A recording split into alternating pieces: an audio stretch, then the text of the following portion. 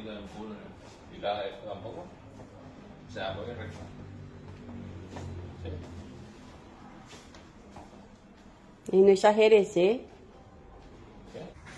Bueno, buenas tardes, ya. Hola, buenas Estamos tardes. aquí con este buen hombre. Así que la cuéntale, la gente, ¿cómo llegaste?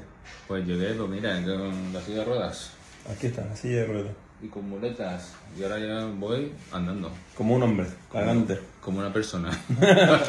¿Estás contento? Muy contento, la verdad que sí. la verdad. Bueno. Es increíble.